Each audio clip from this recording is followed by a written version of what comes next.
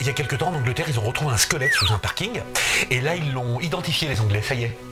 Il paraît que c'est le squelette de Richard III, qui a été un, roi anglais en, longtemps.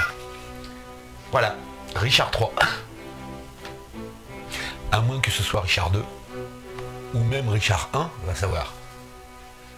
Eh, si, si ça se trouve, c'est Gérard, c'est même pas Richard. Il, il est con ce Gérard, quel déconneur. C'est donc euh, lui, euh, Richard III. Il a pas une tête sympa, hein. Mais attends, il y a un truc que je comprends pas. Quel rapport euh, entre Richard III et le iPhone 5 Hein? Oh, Dis donc, quel ringard ces Anglais. Ils sont encore à Richard III, les mecs. Alors que nous, on est passé à la 4G depuis euh, plusieurs mois.